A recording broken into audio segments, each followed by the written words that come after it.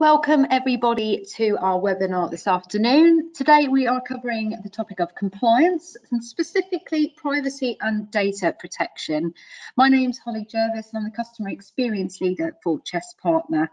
But today it's not me taking you through the steps of compliance. Instead, we have our head of compliance, Sandra Lovell Struthers, or head of quality and compliance. She has a very fancy title, uh, who's going to break it down a little bit more for you and give you some information that may help you when you're reviewing things such as your privacy policies, terms and conditions, uh, and anything to do with your website and displaying accurate inf information on compliance to your customer base. So without further ado, I'm going to hand over to Sandra. Thank you for your time today, Sandra. Thanks, Holly. Uh, yeah, looking forward to it. So today I'm going to try and take you through, some hints and tips of how to deal with uh, compliance issues, mainly all to do with data protection and the hated GDPR, um, covering over some myths that are not true and highlighting some truths that you do need to consider. So the benefits, the benefits of doing it right. Well, obviously, it's going to help your organization to comply with its legal obligations. It looks scary. It's not as scary as it looks. It will actually save your organization time and effort in the long run because it basically allows you to manage all these things. Once you get your systems and your processes in place, it makes it very easy. I think one of the biggest benefits of all is it will build good relations with anybody that you deal with. And once they have confidence that you are dealing with their information in a secure fashion, then your relationship is only ever going to flourish. The risks of doing it wrong. Um, these are a little bit more scary. Most people now know that the big fines that the ICO is allowed to um, enforce are now coming into being. So recently we've had British Airways 183 million, Marriott Hotels 99 million. These are huge organizations with a huge global turnover, so they are going to get these maximum sort of fines. The biggest thing I can say is as long as you are following a privacy program and you are trying to put your security in place and you inform the ICO when things go wrong, which we'll go into a little bit later, then the risks of doing it wrong are not to be feared. The biggest thing alongside the financial risk is your reputational risk. So again, the ICO may come along and give you an order to follow or a fine. However, it's your reputational costs of losing your customers that is always going to be the biggest consequence of getting it wrong. The suggestions, I'm hoping that some of the suggestions will help your organisations understand the benefits of um, complying with these information laws. It's a point to note that anyone dealing with chess, whether you're suppliers, customers, or partners, we would always expect you to be fully compliant with any privacy legislation. Again, it's a point to note that registering or paying a fee, as it's now known, is required by law if you deal with any sort of personal identifiable information. However, there are exemptions, and I'll go on to those a little bit later. So what is personal identifiable information? Everybody talks about it. It's basically that quote there, any information alone or in combination that can I be used to specifically identify a person. I think everybody realizes that we're talking about names, addresses and telephone numbers. What a lot of people tend to forget is email addresses especially if they think their email address refers to their business. So I've given an example below. So for example, Flowers Are Us Limited is not personal identifiable information. However, if your flower shop is called Joe Bloggs and your name is Joe Bloggs, then it is PII. So we just need to take that extra little bit of time, read into the names, look at the stuff we're keeping, and decide for ourselves does this identify an individual? The exemptions that I mentioned, you may be exempt from the fee if you only process information for the following. So staff administration, payrolls, etc., accounts, invoices and payments, and advertising or marketing if it's about your own activity only. However, and this is the biggest catch-all, if you use CCT on the CCTV on the premises for any crime prevention purposes, you will still need to pay a fee. And irrespective of whether you need to pay that fee or not, or whether you're exempt from it, you still, by law, need to comply with all the data protection rules, and that includes the Data Protection Act 2018 and the General Data Protection Regulation, or GDPR as we all know it by. If you hold such information, such as personal identifiable information, these are the things you need to consider. So have you thought what information comes in and out of your business?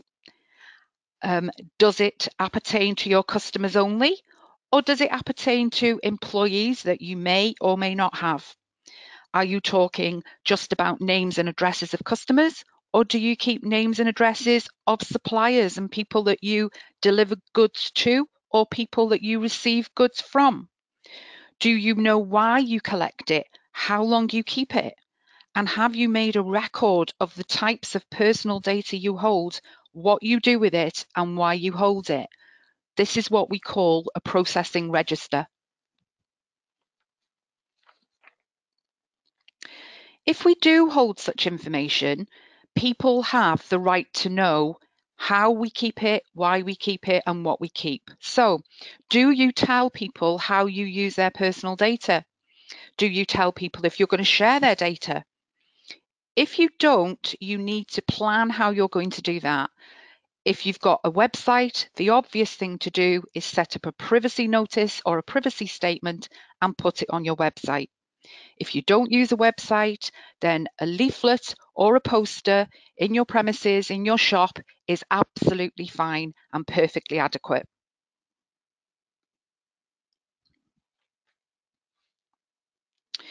Do we collect the data that we need? This is about excessive data. Do we only collect the information we absolutely need to work with? Long gone are the days where we need to know everybody's shoe size and their preference and their favourite colours. We don't need to know those things anymore. It's much easier to manage your information if you only keep what you need and a small amount of it. Make sure that yourself and the people you work with know the difference between the information you need as a company and a business and information that's optional. Likewise, when you're collecting this information, make it quite clear to the customer that this information we absolutely need to be able to retain and hold your records. However, this bit of information is optional and you don't have to give it to us.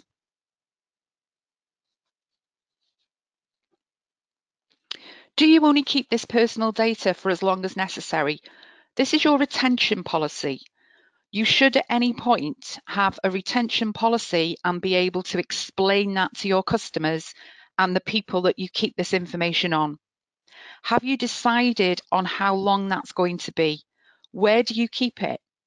Do you refresh or destroy the personal data after a specific period of time? Um, for example, on the bottom, Peter is a newsagent. He collects names and addresses of his customers as well as all their orders and payments. He creates a document that de details exactly what he keeps and how long he holds it for. At the end of that period, he securely destroys that data and he annually checks it for accuracy. You need to be able to ensure that you have that process in place for all the information you keep. How long you're going to keep it for, how you're going to destroy it, and you need to be able to supply that information to anyone who asks for it. Do we keep our information accurate and up to date? It's all very well to take this information in when we first meet a customer, but that customer can move house, change telephone numbers, uh, move business addresses, all of these things. We need to be able to regularly check that the personal data we're holding about these individuals is accurate and up to date. I think one of the most important things is if that individual wants to see a copy of it, we'll go into that later, you need to be able to find it quickly to be able to make sure it is up to date. If you don't keep your records in order, you're not going to be able to find that information quickly, if at all.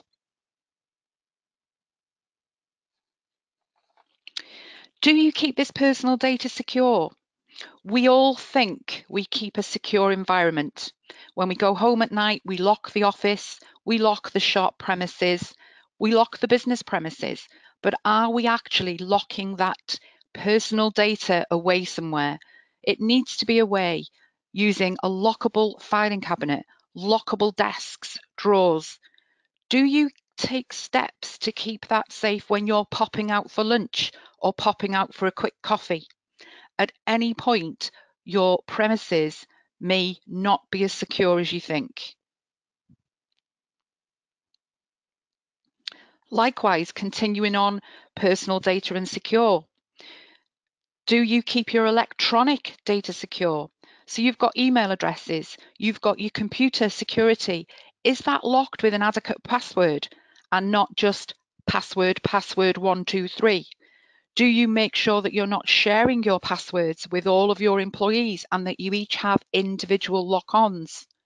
If you're working from home, do you ensure that your home environment has the same security as your working environment and that you adopt the same clear desk policy when you're at home as you do when you're in the office or the business environment? People's rights. Do you have a way for people to exercise their rights regarding their personal data? So we mentioned that we're only going to keep it for so long, and we've mentioned that you may need to go in there and change it for accuracy. But individuals have rights regarding their data under the law. One of them being subject access requests, which is the main one. People can write in or verbally ask at any point for a copy of everything you hold about them. There are limitations and there are rules of which we have to apply when someone asks for a subject access request. Are you ready? Is your business geared up to deal with a subject access request? With the new law that's come into place, the time span to answer a subject access request has recently been reduced. It now states that you have to achieve this within a calendar month. So for example, if the request comes in on the 3rd of September, you have to reply by the 3rd of October. That's not a lot of time if you don't know exactly where this data is held. So it's all about keeping good records securely in a place you know where it is. Likewise, someone may ask to get their data deleted Again, you cannot delete their records if you don't know where they are and that they're easily accessible. And remember, this applies not just to computerized records, but to paper records also. Rights and the individuals have under the law. I'm not going to go through each and every one. There's a much better explanation on the ICO's website, which we'll give you the details of a little later. But basically, it's the right to be informed. So, as we said, everybody should know that you are holding their information and for what reason. The right of access, as we've just said, a subject access request. I may write in and say, Can I have a copy of everything you've got? The right to rectification. It's inaccurate now. I've moved house. You need the right to be able to write in and rectify that information. The right to erasure. I'm no longer dealing with you, and yet you're still holding my records for approximately 10 years, for example. I have the right to write into you or to speak to you and say, I want my records erased now, please. The right to restrict processing. Again, I might want you to keep my records because I'm having services from you, but I might not want marketing information or survey information from you. So again, it's allowing that individual the right to restrict the processing and decide what they want from you. The right to data portability. If you have records, that individual has the right for them to be easily accessible so they can move to another supplier or another service. And the right to object. Again, they can object to the way that you are processing their information. If you do hold such information, you need to know that it's not just yourself, but every single member of your staff, if you have any, to know exactly what your data protection responsibilities are. You as a data controller or a main data processor will be responsible for anybody that deals with or processes your data. So have you trained all your staff who handle personal data on their responsibilities? It is your responsibility to make sure that everybody within your remit is trained.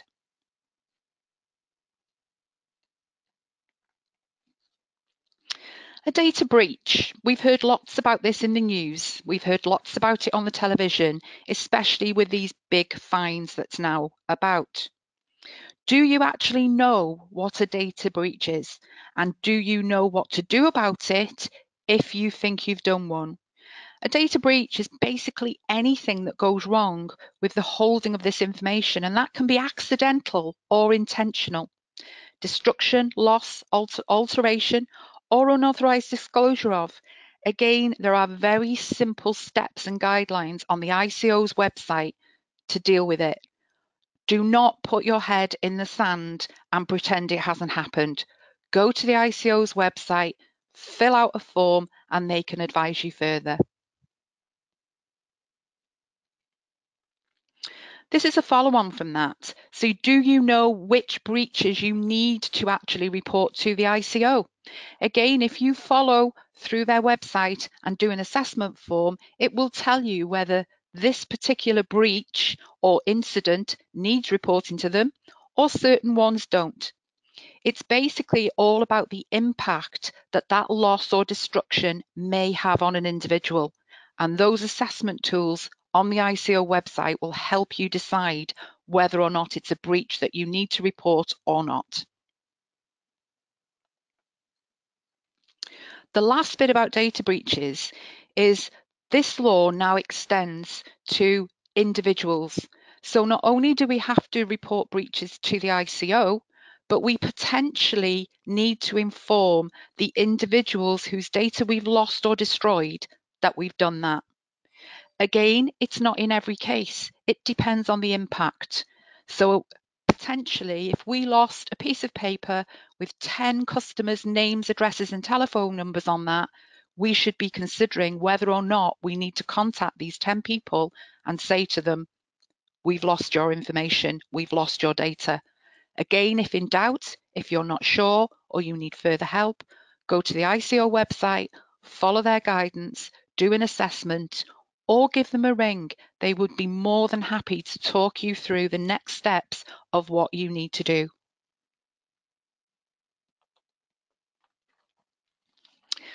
that's that's it really. That's all I've got to say today. Um, I didn't want to bombard this session with too much. I wanted to give hints and tips. As I keep saying throughout the session, for further information, go to the ICO website, ico.org.uk. They have got some great assessment tools there. They've got some good advice for small and medium businesses, lots of hints and tips, and lots of frequently asked questions. Um, certainly, if you're a customer or um, a partner of ours, you've got Holly here, and I'm sure that she'd be happy to help. And again, point her towards us so that we may be help, able to help you further.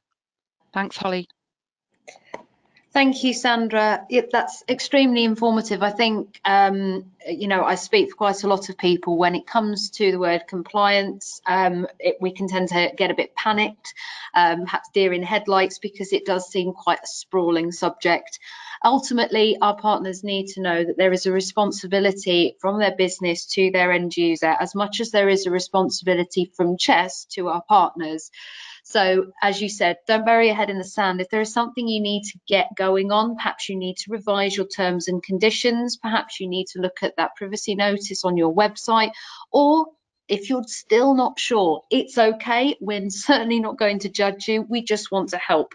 So as, uh, as you can see on the screen in front of you, we have got Sandra's details if you would like to contact her. She's an extremely busy lady, but she's also a very lovely lady. So I'm sure she will help you if she possibly can. You can also contact myself which majority of you watching this, you will have my details. If you don't by now, next time I visit you, they are going in your phone.